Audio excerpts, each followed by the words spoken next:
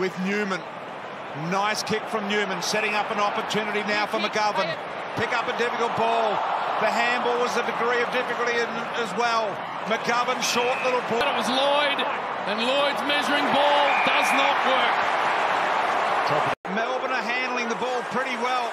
Sparrow out of there, easy for McGovern, and he. Once again, no ruckman for the Demons, didn't matter.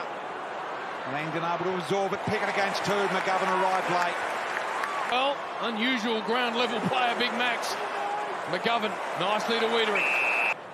And that's a wobbly ball. Never left the boot properly at all, and they can go here. Salem, two on one here for the Blues. What do they do? McGovern. Silverland will run it down, didn't get there in the end. Nice smother. Five metres out. Who's going to get this? Up on. He kicked the goal? He has. Can't let Docherty play on. Kicks it long. And Akers. Forward line. Just Darcy Gardiner's third game for the year. Scramble a handball out of there. Newman sends it back out in the McGovern direction and the Blues go forward again. Carefully McGovern towards Walsh, needed the second.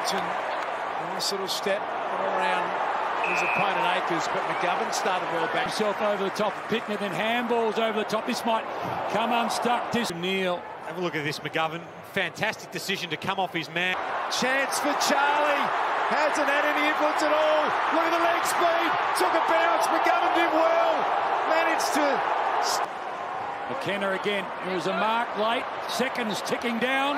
A mark is taken, and it's McGovern. A little bit of shape forward of the footy, but Curnow, as we saw, a miracle here in the final term. McGovern so brave against Robertson. Quickly, McCluggage left it behind. Chance for the